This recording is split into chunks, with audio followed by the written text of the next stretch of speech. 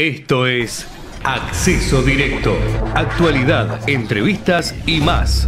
Con Adrián Filinich. ¿Qué tal? Bienvenidos a Acceso Directo en nuestro multiplataforma de comedios. Hoy nos vestimos de verde porque está en nuestro estudio Pablo Gago, director de Futuro Sustentable. Bienvenido Pablo, ¿cómo estás? Gracias Adrián por la invitación y gracias por atenderme en esta multiplataforma. Sí, hermoso, de verdad, te gusta la casa. ¿eh? Y además te vimos recorriendo eh, el riachuelo con eh, Acumar. ¿Cómo encontraste ese espejo de agua? ¿Cómo, ¿Cómo viste? ¿Qué sensaciones trajiste? La verdad que me una linda sorpresa navegar el riachuelo a lo que uno no se imagina que pueda ser transitable. Y sí, me invitó la gente a Acumar porque están haciendo la limpieza del espejo de agua. Este espejo de agua que hace unos años se encontraba lleno de basura, lleno, como quien dice, de mugre y obstáculos durante la navegación. Estaba negro. sí, estaba negro. Hoy lo que se ve es no, se ve limpio, pero sí se ve el espejo del agua y las costas sin basura. Lo ah. que sí, Acumar está haciendo un trabajo directo cuenca arriba y cuenca abajo de todo lo que es limpieza de basura. Si vos te fijás, hay esos tipos catamaranes que están arrastrando la basura y se la llevan con ah. grúas y están sacando todo lo que es el espejo del agua. De hecho, el sábado hicieron una regata muy importante de navegación. Qué bueno que se empiecen a hacer esas cosas. Y además, bueno, viene de la mano de la COP26, ¿no? que estuvo en Glasgow, se dio mucha importancia acá en Buenos Aires, se empezó a hablar mucho de esto, y cada vez más. Sí, la verdad que se está hablando mucho. La COP26, el cambio climático, está ocupando un lugar importante en la agenda de la industria, de los gobiernos. Lo que estamos viendo hoy en día, los especialistas, es que el cambio climático sigue aumentando la temperatura del planeta, pero sí digo hay una grieta ambiental. A ver, ¿cómo es esa grieta? Esto, de la grieta, grieta, bueno, pero sí hay una grieta muy marcada. ¿En qué? Lo parlamentario, es decir, los funcionarios de gobierno, los gobiernos eh, del mundo, están muy lentos en la toma de decisiones. Bien. ¿Correcto? Lentos. Y los activistas necesitan acción climática ya. Resultados. Resultados. Y esto no está pasando. Fíjate qué es lo que nos pasa día a día a nosotros también como país. Entonces, hay una grieta entre el activismo y lo, y lo diplomático, que lo diplomático va mucho más tranquilo, con la toma de decisiones, y el activismo quiere a través de Greta Thunberg, que es la que encabeza el movimiento, quiere acción climática ya, porque si no vamos a pasar ese grado y medio, que los especialistas ya lo dijeron, y estamos... De aumento de la temperatura. Exactamente, y estamos complicados. Bien, y además nos trajimos una muy buena noticia de Glasgow, por esto del hidrógeno verde, un, anuncio. ¿Qué es el hidrógeno verde y por qué es bueno para Argentina? Bueno, el hidrógeno es una alternativa de energía producida a través de la electrólisis del agua, ¿no? la vaporización, pero el tema es que justamente hay que hacerlo verde.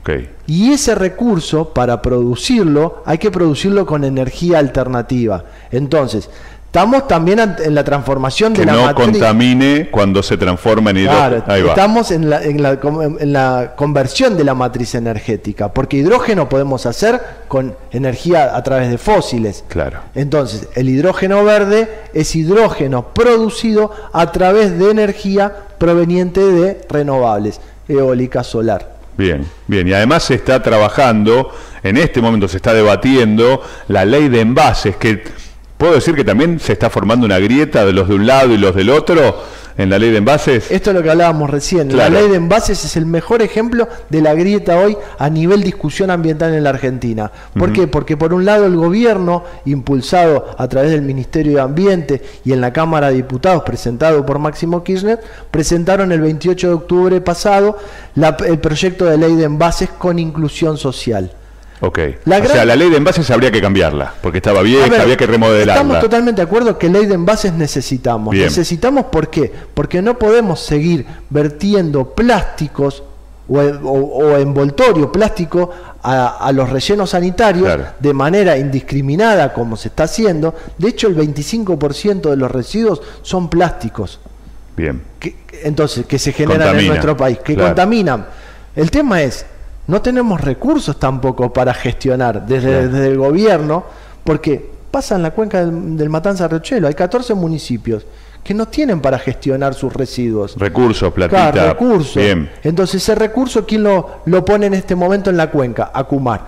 Y a nivel nacional no tenemos ese recurso. Entonces, se crea un fideicomiso con un 3% sobre cada envase puesto en góndola. Ok, algunos dicen que eso es como crear un impuesto nuevo. Ahí ¿Puede está, ser? ahí está la discusión. Desde el lado del gobierno se dice que no es un impuesto. Es un sino que- fideicomiso. sí, sí, y para mejorar la cuestión ambiental. Y del lado de los productores dicen que es un impuesto que no están eh, queriendo subir porque ya tienen demasiados impuestos en la cadena productiva. Claro. Y este 3%, ¿quién se hace cargo?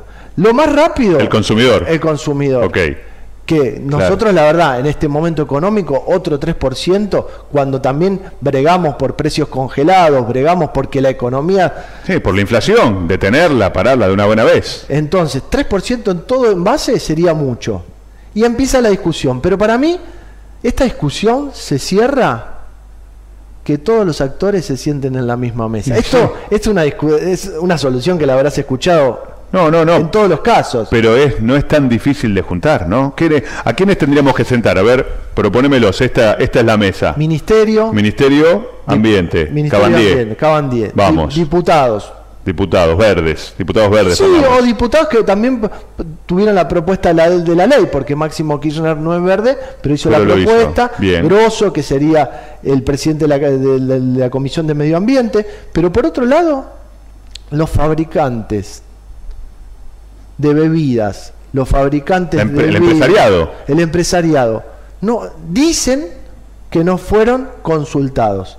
Ok. Entonces, Y hay una pata más también. Los recicladores. Los, rec- los recicladores. ¿Cómo los nombramos? Sí, Sí, sí, los trabajadores. recicladores, los recuperadores, no están en discusión porque la inclusión social, Ah, lo dijiste. la que, digamos, se quiere hacer. La discusión es quién maneja ese 3%, cómo se maneja. Y me parece que ahí es donde podrían discutirlo y podrían sentárselo a hablar. Porque también hay una gran pregunta y un gran interrogante. Yo industria, si yo tengo mi plan de gestión de recuperación, si yo no pongo el 100% de materia de, plástico de primer uso, si yo ya estoy utilizando Reciclando. utilizando botellas, Reutilizando, bien. reutilizando del 20%, ¿por qué voy a pagar un 3%? Claro, que pague el que no hizo nada, que no hizo una inversión. Y ahí está también la otra discusión. ¿Cómo se clasificaría a cada uno de los envases puestos en góndola? Porque no todos tendrían que pagar el 3%, Claro. de acuerdo a su componente. Y el otro tema es, si yo tengo un programa de reciclado dentro de mi compañía y vos no invertiste y no tenés nada, ¿ten- ¿estamos en igualdad de condiciones? Claramente no. No, entonces a ese sí que el Estado le cobre el 3% y que se maneje de manera eh, eh, particular, digamos, o pre- a través del Estado. Sí, y, sí, sí. Y yo, el no. que hace y hizo el esfuerzo, El no. que hizo el esfuerzo no tendría que pagar. Es la discusión, Claro, pero claro, claro. eh. todo se dirime sentaditos Sentándose en la misma en mesa. esta mesa. Y porque luego podemos convocar acá. Esos, Eh, son los me- esos son los temas principales que hoy pasan en- a nivel ambiental en la Argentina. ¿no? Bien, después de la pausa, me vas a contar qué es Futuro Sustentable, revista, programa de radio, Facebook, eh, las giras que hacías por el interior del país, ¿puede ser? Sí, ¿Algo de eso? Eso es lo más divertido. me Ahí parece. está, dale, enseguida volvemos.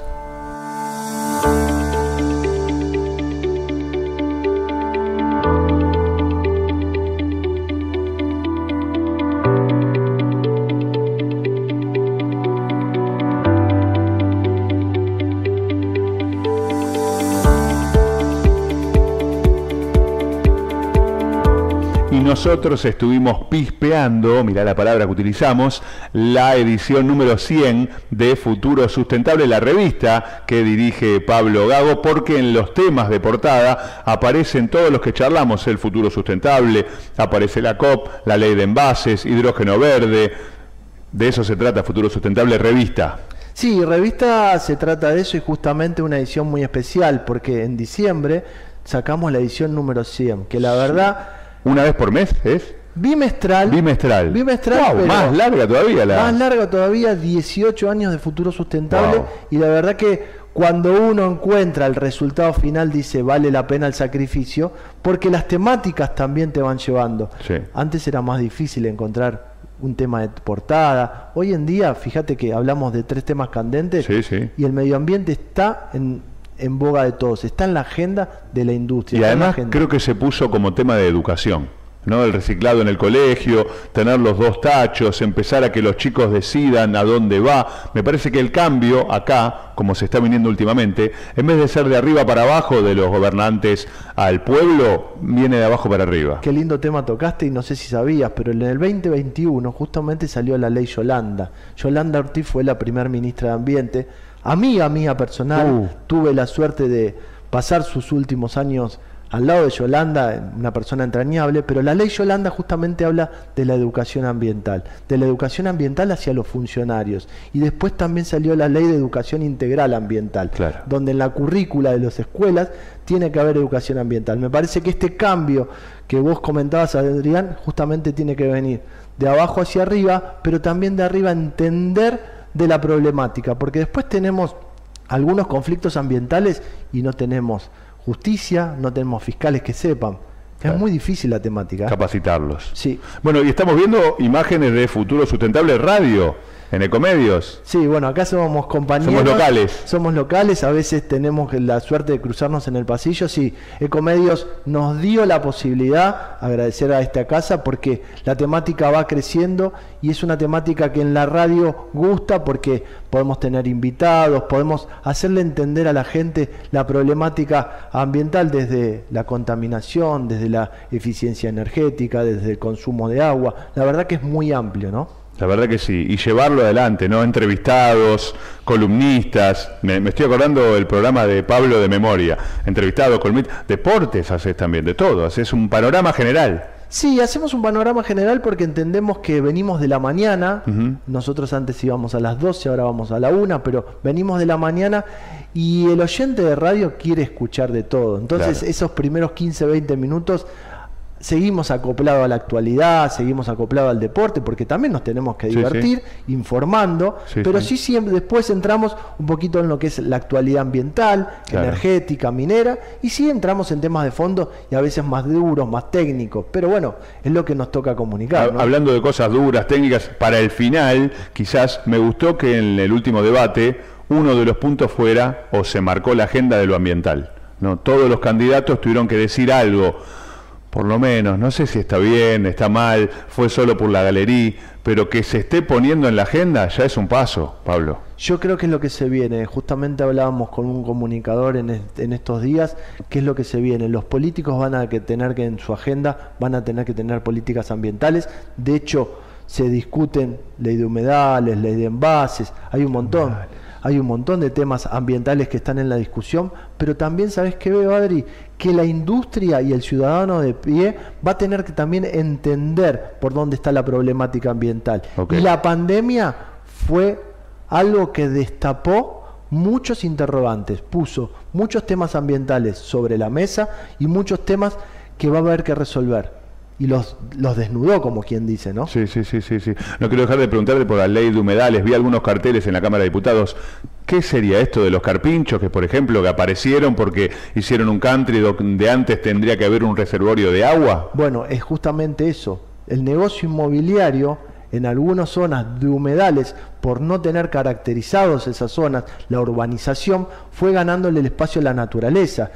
Y esto pasó con los carpinchos. Claro. Nosotros Y el agua, y las inundaciones también Bueno, pueden venir, Pablo, ¿eh? Eh, la en Luján. la- bueno, la descompensación de napas y la descompensación de eh, trae inundaciones, pero vos fíjate cómo sin querer irrumpimos en el hábitat natural de estos animales. No es que, no es que eh, Ellos, ¿quién invade a no, quién? Claro, no es que ellos vinieron a, a tu casa, no, no, no. Yo estaba acá antes que venga usted, señora. Exactamente. Señor. Y me parece que ahí también la- el tema urbanístico juega. Bueno, vos fíjate qué pasa en la ciudad de Buenos Aires con Costa Salguero. Sí. Se discute mucho el negocio inmobiliario contra la preservación de los espacios verdes. Entonces, es complicado, pero la temática está en el día a día. Tal cual, juega urbanismo, espacio verde, ecología, sustentabilidad. Transporte, si querés. Transporte, transporte, Transporte verde. Sí que no me gustó nada a mí el metrobús ahí, que tendrían que haber puesto algo más sustentable, pero bueno, Pero vos- mejoramos. pero vos fíjate cómo la pandemia también nos llevó a eso. ¿Cuántas bicicletas An- hoy ves? sí. ¿Cuántos monopatines eléctricos? La movilidad eléctrica. Hay un montón de temas que se vienen y que nosotros podemos ser grandes jugadores. Por ejemplo, Argentina tiene el triángulo en el NOA mayor de producción de litio en el mundo. Con eso litio Wow. se pueden producir baterías. Batería, y esas baterías van a proveer a los vehículos eléctricos del futuro. El tema es que hay que desarrollar el negocio. Claro. Y Jujuy como provincia lo está desarrollando también. Entonces, hay un montón de temas que se vienen y que vamos a tener que discutir. Así que No, me encanta. Va- vamos a hacer otro programa. Además, porque me dejaste invitar- mucho, me vas a tener que invitar otra vez más. Muchos puntos suspensivos, pero antes estuviste en el NOA, estuviste en Neuquén, estuviste en Mendoza, en San Juan, petróleo, minería. Wow. Aprendiste bien la No, no, pero. Es no. verdad, es verdad. Lo que pasa es que cuando creamos Futuro Sustentable, que estamos próximos a cumplir 18 años, entendíamos que el movimiento industrial no estaba en la capital, estaba en el interior del país. Entonces lo que hicimos nosotros fuimos, eh, fuimos por las provincias, regionalizamos, hicimos las jornadas argentinas sustentables, bueno. que por pandemia no se pudieron hacer el año pasado, pero las volveremos a hacer. Y hicimos zona NOA, zona Cuyo, zona Neuquén, y sí Buenos Aires por el Día Mundial del Medio Ambiente y la provincia de Buenos Aires y la ciudad. Pero estamos en contacto permanente con la industria, entendemos lo que pasa, porque esa es otra gran discusión. ¿Cuántos periodistas conocen de lo que están hablando? Pocos. A mí me gusta ir al campo, me gusta conocer la industria, Claro. conocer los procesos. Entonces entendés mucho mejor de eficiencia energética y de procesos. ¿no? Cuando te llevan al lado del country, donde ves que acá hay un arroyo, claro, y, está todo construido alrededor, ir a tocar el riachuelo, levantar el agüita, Esto que me pasó el otro día, Claro. navegamos el triachuelo y estaba abajo. ver el delta cuando vas remando y decís, voy a, ¿qué agarramos? Veíamos las costas bajas, veíamos las costas limpias. Por lo menos te puedo decir dónde está El cambio está- o el comienzo. y en qué estado está la situación. Tal cual. Bueno, pero vamos a hacer otro programa. ¿eh? Me quedaron lo de transporte, me gustó para seguir indagando, traer a los responsables, algún empresario. Podemos mostrar, ¿Eh? podemos traer ejemplos. Está lindo el espacio. Me quedo, compré. Yo también. Gracias. Gracias. Gracias. Y gracias a ustedes por sumarse cada vez más a Acceso Directo en las redes sociales. A Pablo también. Un abrazo grande para todos. Esto fue Acceso Directo con Adrián Filinich.